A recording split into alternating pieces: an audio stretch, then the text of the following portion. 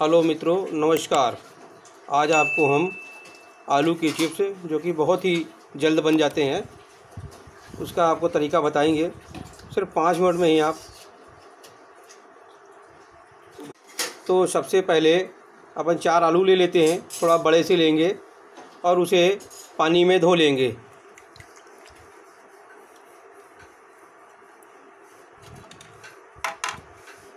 ये हमने अपने चारों आलूओं को धो लिया है। इसके बाद अपन इसको अब छीलेंगे। छिलनी की सहायता से इस आलू को छीला जाएगा।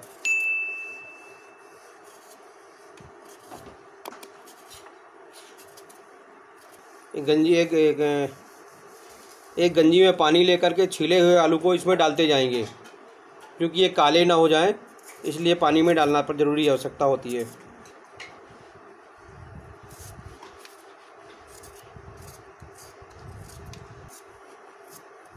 ये देखिए, अब हमारे चारों आलू छिल गए हैं और जो कि हमने पानी में डाल दिए हैं, इसे थोड़ा सा धो लेते हैं तो ऊपर का इसमें डस्ट इसका निकल जाता है। अब इसके बाद फिर इसे हम किसनी के द्वारा चिप्स के निकालेंगे। आलू चिप्स के लिए मशीन बनाई गई है, जो कि बाज़ार में आसानी से मिल जाती है। जनरली सभी के घरों में होती है। देखिए, अब इसे हम चिप्स का आकार दे रहे हैं आलू को।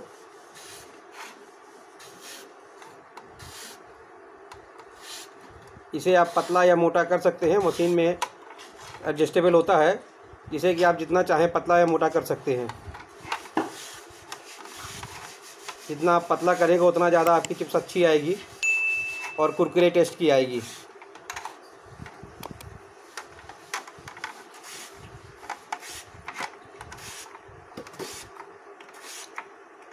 बस हाथों को थोड़ा बचाए रखना पड़ता है। अंतिम में जब आलू छोटा हो जाता है तो हाथों पे चोट ना लगे कहीं। बहुत ही आराम से और जल्दी से निकाला जा सकता है इसे। ये देखिए, हमारे द्वारा पूरे चारों आलूओं को किस लिया गया है? अब इसे हम पुनः फिर से पानी पे धोएँगे। पानी में पूरे ऐसे डाल देंगे और इसके बाद एक गंजी पानी और ले लेंगे। ये देखिए, दूसरे गंजी में हम अपने गंज में गंजी के पानी में हमने इसमें आलू के चिप्स डाले हैं जो कि पानी जो है देखिएगा बिल्कुल आप बिल्कुल सफ़ेद हो गया है। इसे आलू को अपन थोड़ा और ऐसे हाथ से घिस देंगे जिससे कि पूरा इसका डस्ट जो अंदर का रहता है वो निकल जाएगा। और इसे पुनः फिर हम वो दोबारा फिर दूसरी गंजी में डालेंगे। हाँ ये देखिए दोबारा फिर हम इसे डाल रहे हैं जिससे कि उसका पूरा डस्ट निकल के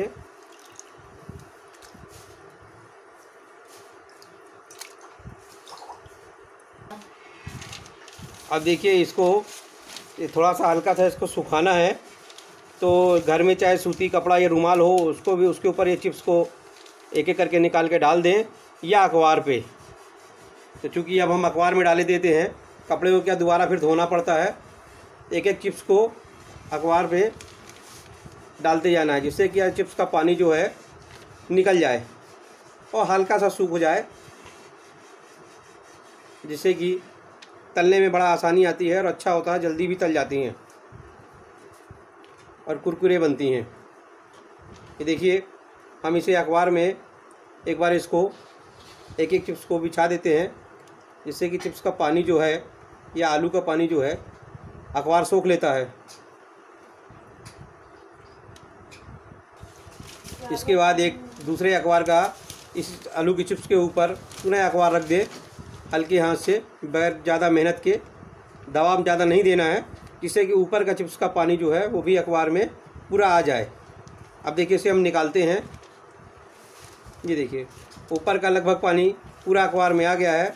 अब इसके बाद फिर आगे की प्रोसेस है कढ़ाई रखने की। हमने एक कढ़ाई गर्म होने के लिए रख दी है। इसमें हमने फार्चून तेल डाल दिया है। अब इसके बाद इसमें हम चिप्स डालेंगे। ये चिप्स हम एक डाल के देख रहे हैं। क्योंकि कढ़ाई गर्म हो गई है, इसलिए हम इसको डालते जा रहे हैं। एक एक करके चिप्स डालें। चाहे तो दो चार चिप्स भी डाल सकते हैं।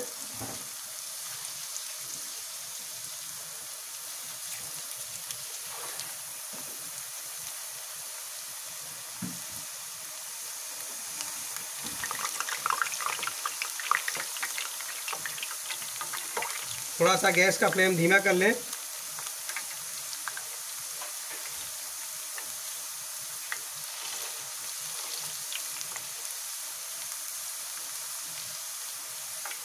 इसको छन्नी से थोड़ा सा चलाते हुए रहें, क्योंकि ये अलट पलट के अंदर होती जाएँ चिप्स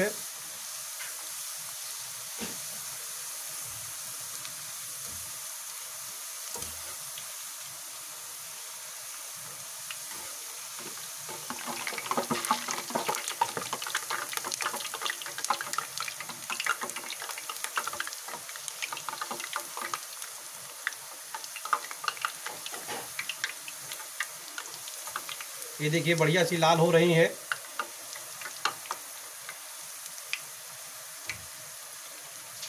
इसे ऐसे तेल में थोड़ा दबाएँ, जब तक ये बुलबुले आए, तब तो मान लीजिए कि कच्ची है। बुलबुले जैसे बंद हो जाते हैं आना ये अंदर से तो फिर पकी जाती हैं इनको।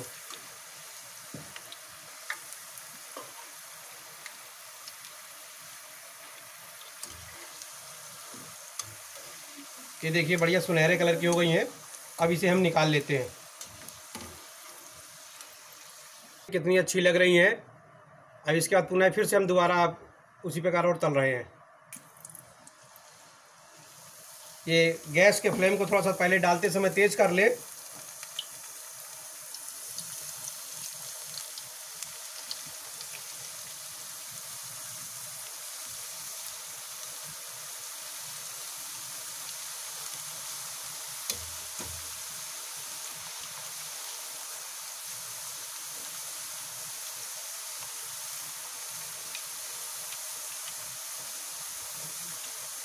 कोई भी घर में मेहमान आता है, बहुत ही जल्दी ये चिप्स बन जाती हैं।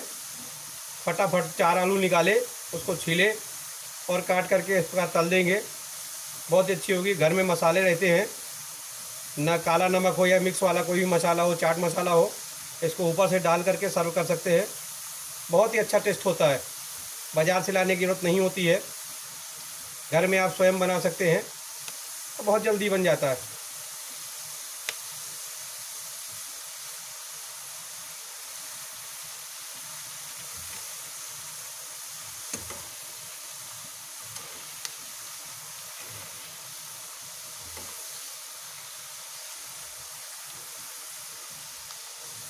बस जब तक ये बुलबुले आते रहे तो मान लीजिए कि अभी आलू कच्चा है, और बुलबुले आने बंद हो जाते हैं तो उसमें कड़कपन आ जाता है।